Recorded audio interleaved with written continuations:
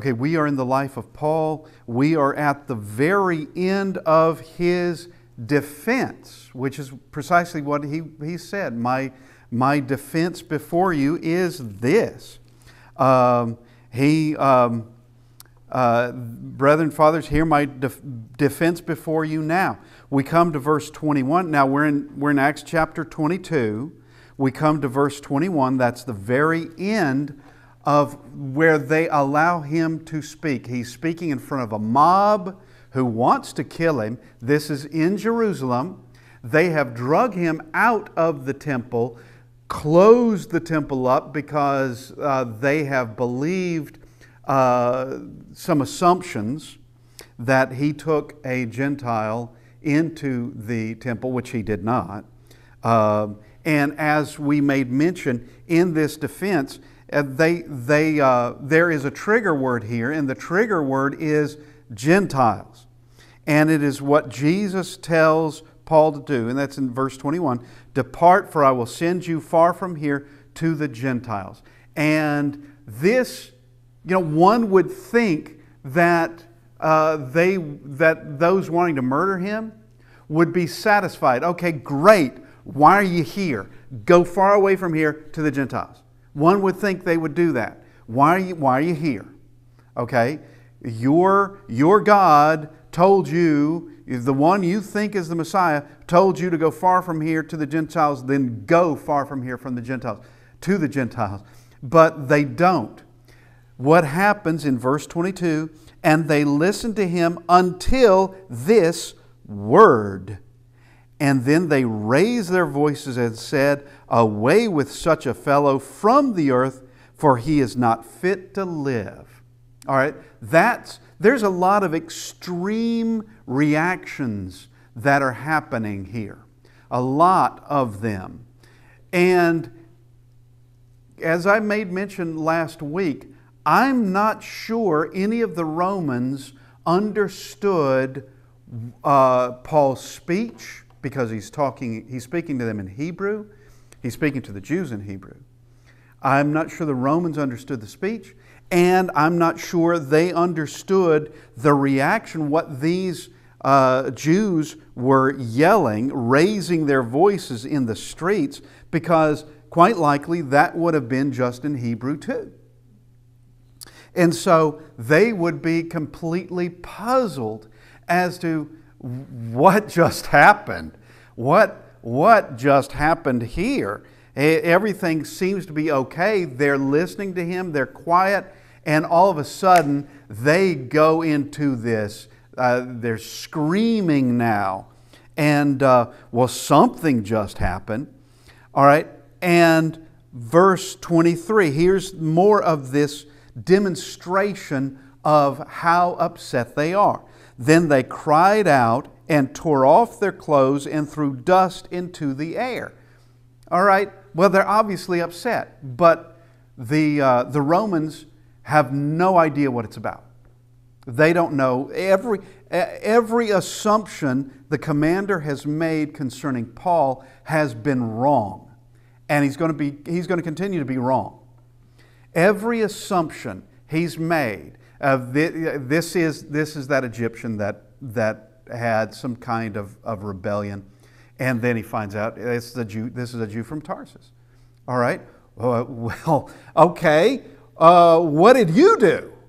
Okay, so, so here they have to protect Paul because they don't want this sort of stuff in the streets.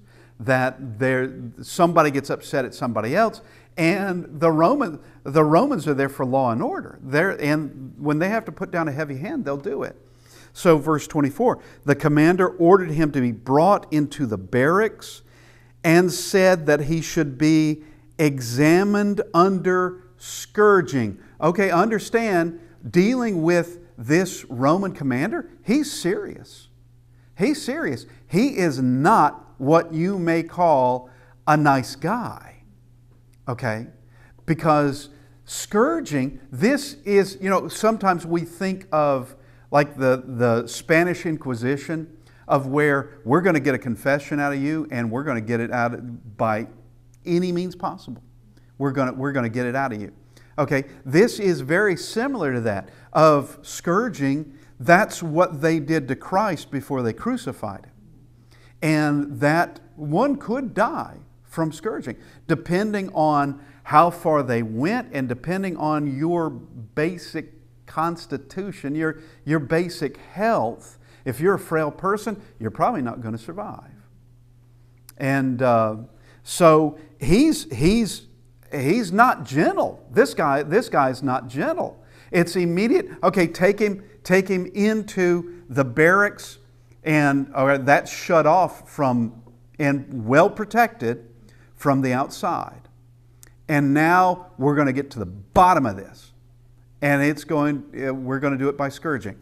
So all right, so we uh, let's just begin in verse 24 again. The commander ordered him to be brought into the barracks and said that he should be examined under scourging so that he might know why they shouted so against him. All right, that's going to an extreme. You know, one would think, let's sit down for a minute and just ask. We'll start this way. We'll, we'll just do uh, the we'll just uh, give, him, give him a little bit of water and let's sit down and let's ask him politely. But that's not it. This is immediately to the scourging post. This is immediately a scourging. All right? So he is assuming, continuing to assume, or actually, he's he's getting it all wrong, but he's continuing to assume the worst about Paul. And uh, this is this would be basic procedure in those days. All right, verse 25. And as they bound him with thongs, Paul said to the centurion who stood by, and this is just a question. And it's to the centurion. The commander is not with them at this moment the scourging was going to take place without the commander. Okay, he wasn't, he wasn't going to be there. He just wants the end result. What, what is the result? So you have a centurion who is in charge of the scourging, of him being bound and all this. And he says, Is it lawful for you to scourge a man who is a Roman and uncondemned? All right, there's been no trial. You don't even know what this is about, much less if I'm guilty or not. You don't know what crime may have been committed, and this is what you're doing. Now, to someone who's not a Roman citizen, they can do this. There are, and there would there wouldn't need to be. That's why it would be it would be basic procedure.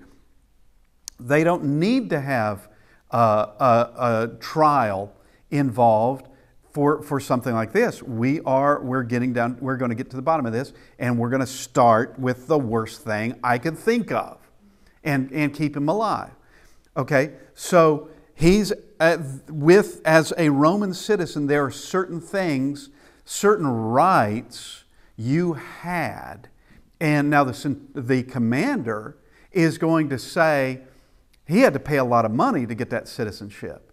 But Paul is going to say that he was born a citizen. Well, if you knew what rights you gained by being a citizen, you'd be willing to pay the money because there's certain things they cannot do to you as, as a citizen. One is they can't do things like this without a trial. We already know from chapter 16 that they can't just throw you, beat you, and throw you in jail uh, without the proper recourse. They can't do that. And they can't crucify you. If you did something that was under the death penalty, say you, you killed someone, okay, uh, well, that's capital punishment. They, as a Roman citizen, they can't crucify you. They can kill you, but they can't crucify you. Those that are non citizens, yeah, they could, they could do that and, and did which is how they could, they could do that to, to Christ because he was not a Roman citizen. Okay? Now, he just asks a question Is it lawful to scourge a man who's a Roman and uncondemned? Verse 26 When the centurion heard that, he went and told the commander, saying, Take care what you do, for this man is a Roman. I'm learning more about him. What? It's one assumption after another. Who, who do we have here? Who, who, who is this guy? He's a, he's a Roman, and yes, the commander fears with this because this could get him in trouble that it went this far. Now he's not been they've not struck him yet, but they were getting ready to and they were binding him. Okay? So that would be enough to get him into a bit of hot water. That you're supposed to um, make sure you know what you're doing and who you're about to do this to before, before you start. And uh, so uh, take care what you do. This man, this man's a Roman. And verse 27 Then the commander came and said to him, Tell me, are you a Roman? He said, Yes. All right. And he took his word for it. I don't know what else there would be. I'm sure, well, I do know this that as a Roman citizen, uh, you had the right to wear a particular garment that others could not. Seriously doubt that Paul is wearing that garment here because he's in Jerusalem. He would have every right to wear it wherever he was. But there is a particular toga, toga virilis, I believe is what it's called, that you can, you can wear as a Roman citizen. Nobody else, if you're not a Roman citizen, you can't wear that. But that would let everyone know uh, you're a Roman. Okay? Now, but this is this is this was enough. Okay? This was enough. And of course, if you can't check whether he's he's telling the truth or not, you stop what you're doing until you confirm. Because you, you can't if you're wrong and he is a Roman citizen, you go ahead and scourge him, you're in really hot water now. So everything everything's off. Everything's off. Tell me, are you a Roman? He said, Yes. The commander answered, With a large sum, this is verse 28, with a large sum I obtained this citizenship. And Paul said, But I was born. Now, in the uh, New King James, we have, I was born a citizen, which is uh, the understanding from the Greek meaning he was born a citizen. But he literally said, I was born. Okay, which means I was immediately a citizen. The moment I was born, I was a citizen. Okay. Um, so, verse 29 Then immediately those who were about to examine him withdrew from him. So the interrogators leave, whoever was to, to handle the, uh, the whip leaves. And the commander was also afraid after he found out that he was a Roman and because he had bound him. That was unlawful for them to do. That was taking it too far. Now, as we have seen in Acts chapter 16 with Paul and Silas in Philippi, you had the officials who were terribly afraid of what they had done because they didn't realize both Paul and Silas were Roman citizens. They didn't know. And Paul and Silas could have raised a ruckus over it, but they don't. And the same thing is going to be true here. He could have, he could have raised a complaint about this, a legal complaint, but he doesn't. He doesn't do it. Um, now, we come to the next bad decision of the commander. He is making bad decisions. And I mean, who am I? Who am I to say? Except that I'm, I'm looking at this from extraordinary hindsight and, and from the biblical text. Okay, uh, he's been making bad decisions. The scourging was a bad decision. I think it was a strange decision to let Paul speak. I'm glad that he did in front of the mob, to speak in front of the mob, uh, because uh, this mob wanted him dead. usually what you do is you shelter that person and uh, he, he, the likelihood is he's only going to intensify the rage, which in essence is what happened once we get to, to verse 22. Okay, that's because now they're, they're shredding their clothes and they're raising up, throwing dust up in the air and showing how angry and distraught they are. Okay, now we come to his next bad decision, but he doesn't know. He, and, and I'm not being cruel to him, and I'm not being, you know, overly as though I would have made a better decision. I can't say that I would. But he, he doesn't know, but this is a bad decision. Verse 30 The next day, because he wanted to know for certain while he, why he was accused by the Jews, he released him from his bonds and commanded. Now, so he's, he's being kept in the barracks for his safety. Now, he's a Roman citizen, so they can't really imprison him, but for his safety and that they don't know what he's done. Or he's, they, they have to keep him confined. So they released him from his bonds and commanded the chief priests and all their council to appear and brought Paul down and set him before them. So they're taking Paul, this is the commander and his troops, taking Paul out of the barracks to go to the uh, where there will be the, the chief priests and their council. This is now where exactly this is, I don't know. I can't tell you where it is, but it can't be, it's unlikely it's at the temple, and I will tell you why. Because the Romans are going to be there in full force. They're not about to just say, okay, y'all, y'all see to it and you know uh, bring him back when you're done.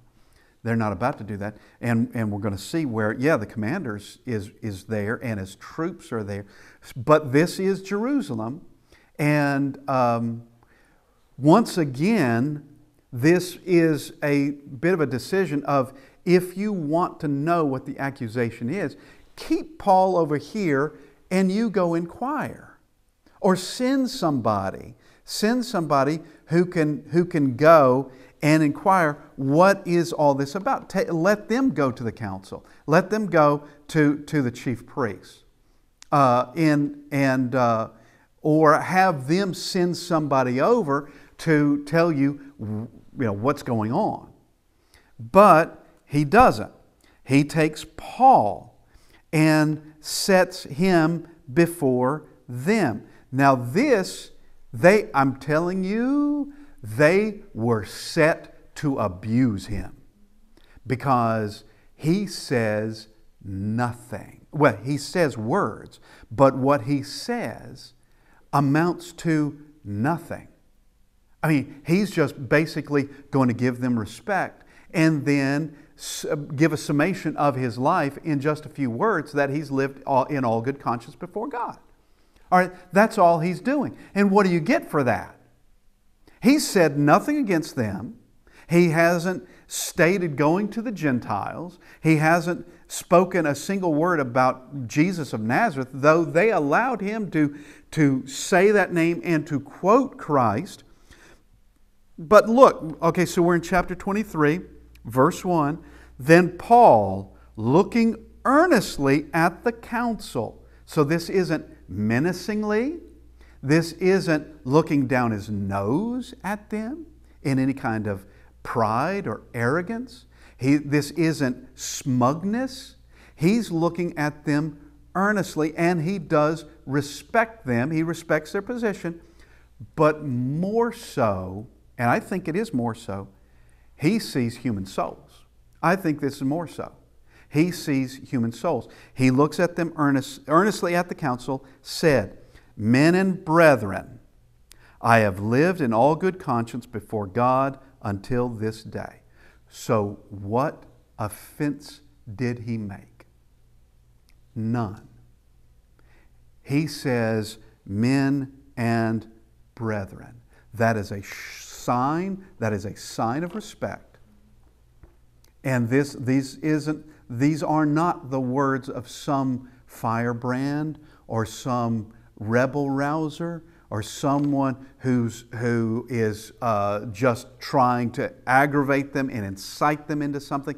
He's, he's not doing that. He, there, there's nothing. He just said nothing. First off, it was words of respect. Next is his own personal opinion and a beginning of his defense. Again, a beginning of his defense. And he can't have a personal opinion the defendant can't have a personal opinion about himself? How do you plead? Not guilty. Wham! I mean, imagine, because that's what's going to happen. Now, he doesn't, no one asks him how he pleads. He doesn't say, I'm, I'm not guilty of anything. He just says, I've lived in all good conscience. Then, this is an extreme and unnecessary action. And verse 2 And the high priest Ananias commanded that those who stood by him to strike him on the mouth. They punch him or they slap him hard. Okay, why? Why? I mean, with the Romans there, that's got to be a curious thing. And once again, I don't think the Romans really can comprehend everything going on. Now, they'll understand somebody getting punched in the mouth, but what offense did he make? They don't know. But realistically, there was none. He just opened his mouth. That's all he did. And and well, and you get punched in the mouth for doing that. I tell you, they were set to abuse him. These are not good men. They're not good. They were set to, to, to do this to him, to, to just, we're going to we're gonna give him the, everything that we can. Okay, so we, go, we now go to uh, verse 3. And then Paul said, God will strike you, you whitewashed wall, for you sit to judge me according to the law. And do you command me to be struck contrary to the law? Now, I could see them striking him for that. I could see that. But what he said was actually, he is mentioning uh, Exodus 22 28. I'm sorry, no, no, no, he's, he's, not, he's not mentioning that. That's the, in, in a second. He will be doing that. But this is, he's, what is a whitewashed wall? Well, that is a very similar image, very similar. It means hypocrite, is what it means. What, when Jesus talked about whited sepulchres, now sepulchre is not a wall, a sepulchre is a coffin uh, where you would have, you'd have a, a, dead body in it. What's a, a whitewashed uh, sepulchre? Well, it is beautiful on the outside, but the, on, as Jesus explains, but on the inside it's full of dead men's bones. Okay, this is a similar thing. A whitewashed wall is one where it looks nice, it looks clean, but it's not. It's not at all. It's their righteousness is just a facade. It's, it's just a coat of paint. That's all it is. Nothing more than that. There's, it's, it's no deeper than that. But then he says, and, and it is hypocrisy. He, he, does, he does say that correct. It is hypocrisy. You sit here to judge me according to the law, but you're not following the law. You just did something against the law. Now, what kind of judge are you?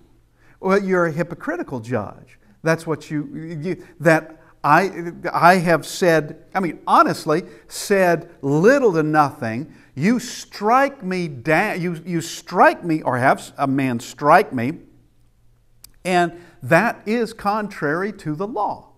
So, how is it that you don't see the hypocrisy in this, whether they're wicked men. And with wicked men, depending on how wicked they are, wicked men don't care if they're hypocrites. They don't care at all. Call them a hypocrite all day. They don't care as long as they maintain the power, as long as they can manipulate people. They and they get their way. They don't care. You you can tell them that all day long. It doesn't matter. Okay, so Who are you? You, you know, uh, God will strike you. Now, that's, that's pretty harsh. God will strike you. And coming from an apostle of Christ, oh, yeah. Uh, how much of this was uh, directly from God? I would say all of it. Being an inspired speaker, I would say every bit of this was inspired of God. That Paul isn't just speaking on, isn't speaking on his own accord or from his own creativity or anything like that. That this is, this is God speaking. Okay, now here comes a rebuke. And those who stood by, now he's not hit anymore. And it could be that, okay, maybe we, better tone this down. All right? Because what he's just said may not have mentioned, may not have meant much uh, to Ananias, but to others it may have meant something. It may have had a greater impact. Uh, and I don't know, but he's, they, Ananias doesn't say strike him again. And those who stood by said, Do you revile God's high priest? Do you revile him? Is that, is that what you should be doing? Verse 5 Then Paul said, I did not know, brethren. This is, this is respect. And he's talking to these men. But notice, he speaks of the high priest in the third person as though he's not even there. Okay, notice, I did not know, brethren, that he was the high priest. He doesn't say, I didn't know you were the high priest. He's talking to these other men and, giving them the respect. He hasn't said anything concerning that whitewashed wall. He's not, he's not talking to him. He's talking to these men that actually they are, they are showing some restraint here. But do you revile God's high priest? And he says, I did not know, brethren, that he was the high priest, for it is written, now he quotes. He quotes Exodus 22 28, You shall not speak evil of a ruler of your people. And he's the only one here that's going to be quoting Scripture or even referencing it.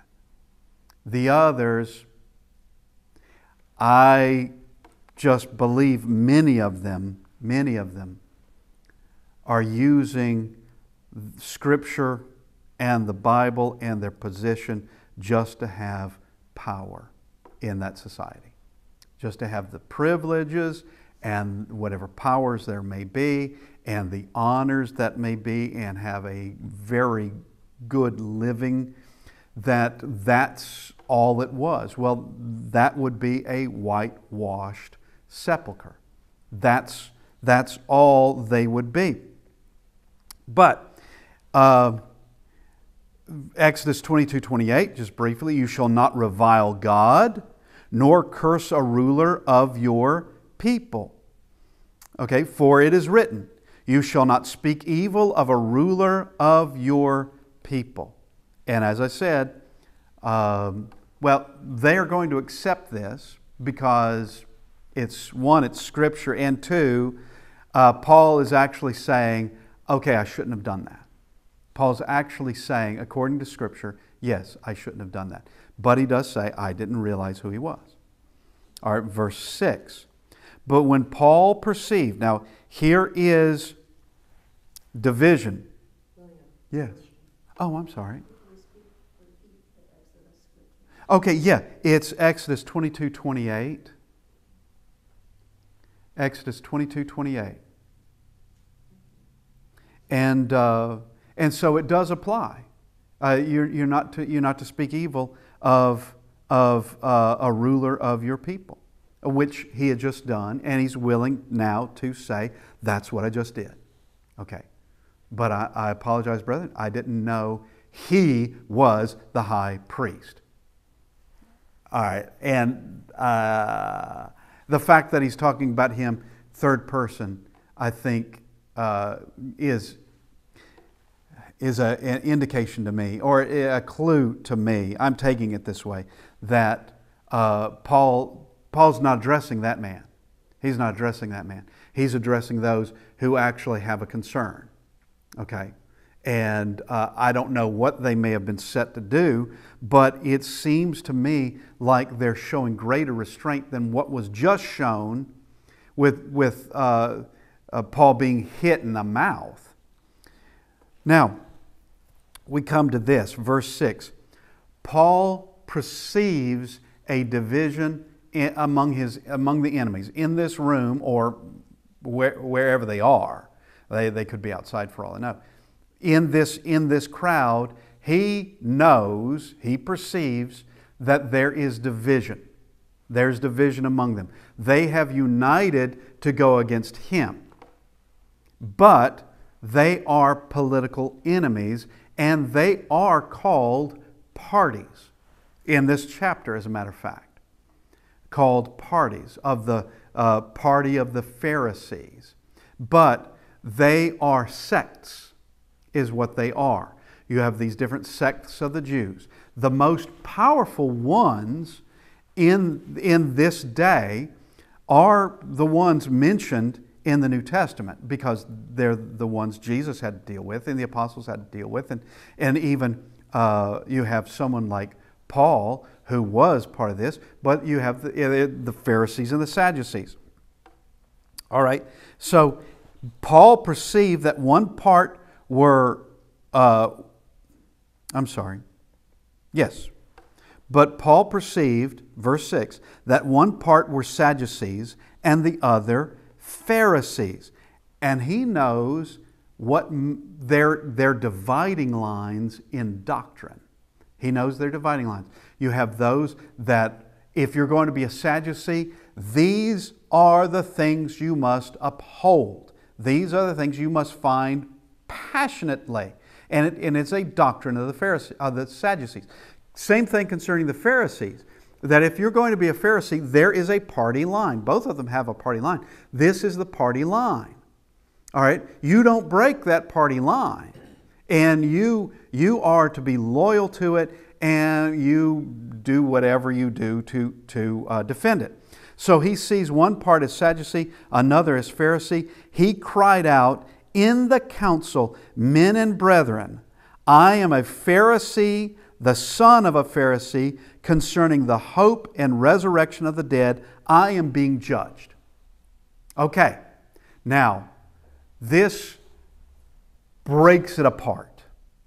This breaks it apart because there is nothing he said here that was a lie or even in any way a small deception. He doesn't say anything here that uh, is is, some kind of, of cleverness that uh, it, it, twisting something around. He didn't. He didn't. Is he a Pharisee? Well, he was a Pharisee. He was raised a Pharisee. Now he's a Christian. And we do see in places like I think it's chapter 15 where we saw it, of where there are, there are uh, those who came from the Pharisees who became Christians and they brought some of that Phariseeism over with them. Okay. Uh, Paul does not. Paul leaves that behind him. Is, is he from that party? Yes, he is. Was his father a Pharisee? Evidently he was. Evidently, his father was a Pharisee. I'm a Pharisee, the son of a Pharisee. All right, that, that takes it back a, another generation. Okay, well, that's some loyalty there. And then he says this he, he says that uh, concerning the hope and the resurrection of the dead, I am being judged. Is that true? Yes. The hope of Christ, Jesus of Nazareth, He's being judged concerning that. The hope of the resurrection, he's being judged for that. Because you've got, yeah, you've got the Sadducees there that they, they reject the resurrection. Of course, they reject Jesus as the, as, the, as the Messiah, and who knows, they may even reject that there's even a Messiah. Who knows? But it is true that, and Jesus as having been resurrected from the dead, they would deny that as well. And yes, he would be judged according to that. He is being judged according to that. That what he has been preaching all these years does concern the hope of the resurrection, the hope of Jesus as the Christ, the resurrection of Jesus as the Christ, and that we all, that hope of the resurrection, that we all will be resurrected at the end. And of course, there's going to be judgment in all that. Okay, so he hasn't said anything that's false. He's, he's actually said something, actually, I'm sorry, as though he hasn't been. He is saying something that is completely true. It's completely true. Verse 7 And when he had said this, a dissension arose between the Pharisees and the Sadducees, and the assembly was divided. You know, where were these Pharisees, these they, because you're going to have the scribes of the Pharisees who are going to be shouting out. Where were they when he just when Paul got hit in the mouth, or when he was just abused? Where were they? All right, suddenly he's their man. You know, it for for this brief moment, suddenly he's he's their man of of uh, and it would be a um, it is a known thing and I can't answer completely for Ananias, but the uh, chief pri- the high priests and the chief priests and many of the priests, many of them were Sadducees. And I have a feeling that Ananias was a Sadducee. And now we just witnessed a Sadducee uh, commanding uh, uh, one, of, one of our fellows to be, to be hit in the mouth for saying nothing. All right, and that is contrary to the law to do that. Yes, ma'am. Are the um, Pharisees and the Sadducees, are they Romans? No, no, they're Jews. They are Jews. No, the Romans, these are sects of the Jews. And yeah, let's, let's look, uh, verse 8. For the Sadducees say there is no resurrection. These are Jews now. And they are also, there are many, many priests who are Sadducees.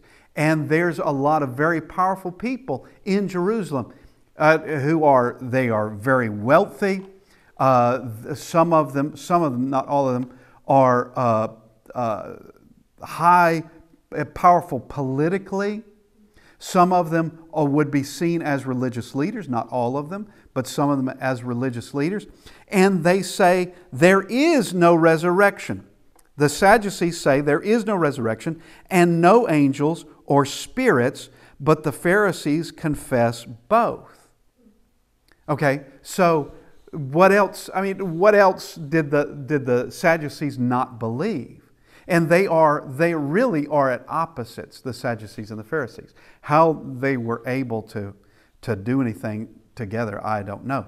But uh, they don't believe there is a resurrection. The Pharisees do. And um, the Pharisees did get that idea from the Old Testament. All right, that is a teaching found in the Old Testament.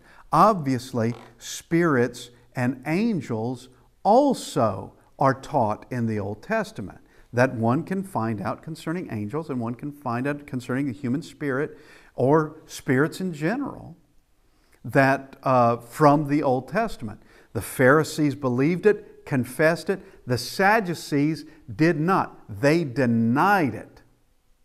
Okay, if there's no spirit,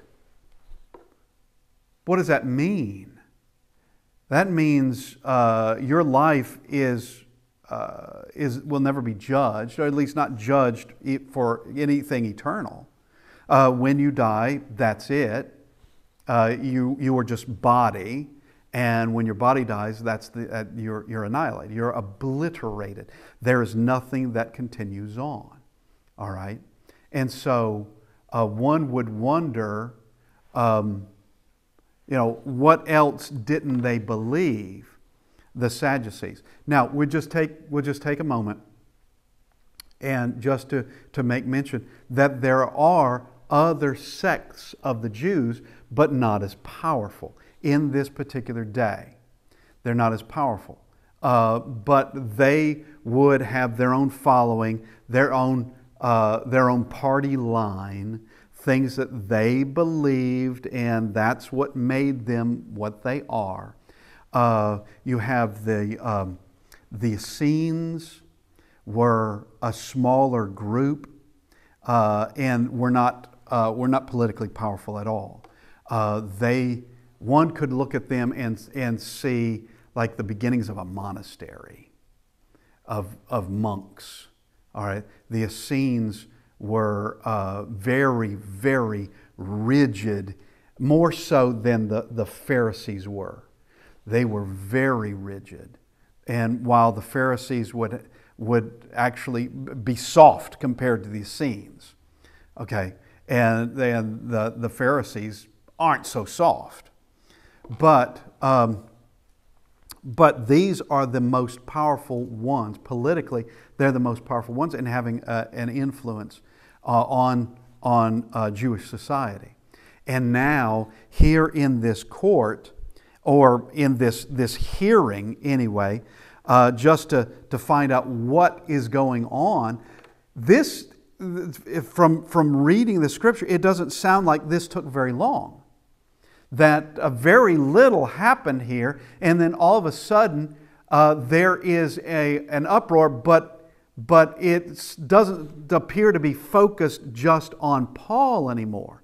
That these men are now arguing with each other. And we will we'll just go to verse 9 and then we'll need to we'll need to, to call it a day. But verse 9, then there arose a loud outcry, and the scribes of the Pharisees' party arose and protested, saying, we find no evil in this man. But if a spirit or an angel has spoken to him, let us not fight against God. Okay, now that's an interesting thing for them to say because they're saying, first off, they see no evil. And who's to say that a spirit or an angel, who you guys don't believe, or you, you Sadducees don't even believe in, if a spirit or an angel has spoken to him, who are we to say otherwise? And we could find ourselves fighting against God. Well, that's very similar to what Gamaliel said earlier in the book. Uh, this is before Paul is is uh, Paul was still Saul of Tarsus at that time. He's not an, an apostle, but let us let us not fight against God. Now, this is an extraordinary thing because of what Paul states in his speech in, ver, in chapter 22.